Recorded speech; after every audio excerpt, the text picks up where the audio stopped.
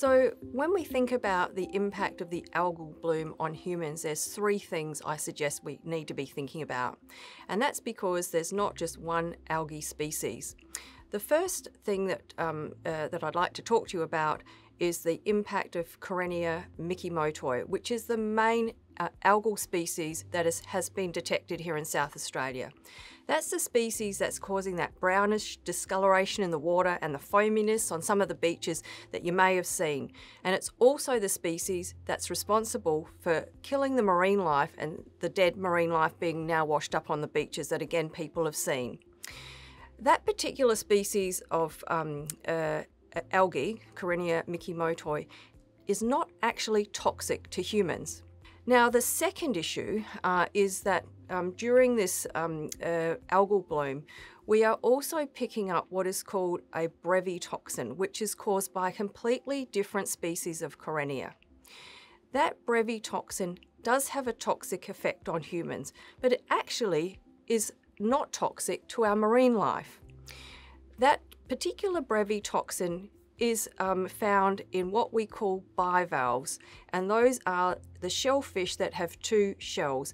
For example, oysters, scallops, cockles, even razorfish, for example. They have the two uh, valves. And that's because those particular um, types of seafood are filter feeders and they accumulate things. Like oysters accumulate pearls, same sort of mechanism.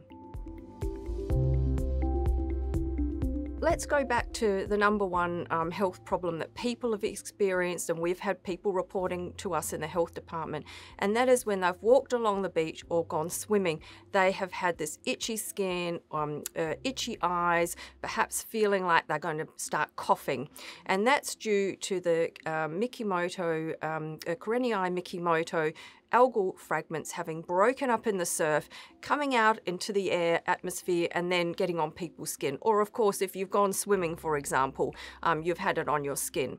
It can be irritating, but it's an irritant effect. And when you walk away from the area, especially if you wash that salt water off your skin, it completely disappears and there's no long term complications. So that's the really good news.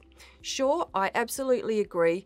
It is frustrating and annoying when you get those symptoms, but I want to be really reassuring that they are transient, they go away, and they don't cause long term harm. Of course, I also uh, need to give some advice to people living along the beachfront if it's um, a day when there's a, a, breeze coming in from, you know, an offshore breeze coming in from the sea, then sometimes those little particles might be carried into your living room if you've got the door open or the window open. So we are recommending to people that do live on the seafront, um, if you're starting to get any symptoms and you've got that sea breeze coming in, to shut the uh, house up and not have that exposure.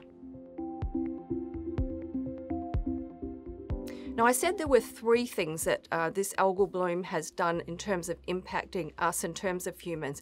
And the last one is terribly important, and that is mental health.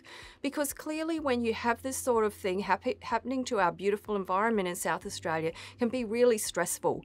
Um, so, in that instance, uh, I really recommend to people that they talk about how they're feeling to, to their support network and if they need to, to get professional uh, support for this.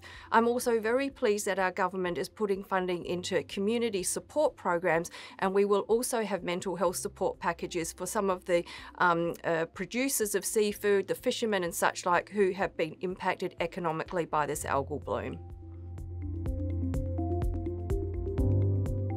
So the things to look out for when you're going to the beach is, you know, asking yourself, can I swim? Is have a good look at the water. If the water is very clear, there's no foaming at all, then chances are you will be absolutely fine and you won't get any of these symptoms at all. If the water is brown discoloration and there's a lot of foam, um, and there's pictures again uh, up on the website of what this would look like, then it's important that you say, maybe I shouldn't swim there because the chances are you may get some of those symptoms. Again, they will not cause you long term harm, but it can be irritating. And who wants to have itchy skin and have to deal with that? Um, so, our recommendation is don't swim when the water looks brown and there's foam along the, the beach line. Our pets are a little bit the same as us. They will be impacted by that irritant effect of the um, little algal fragments breaking up.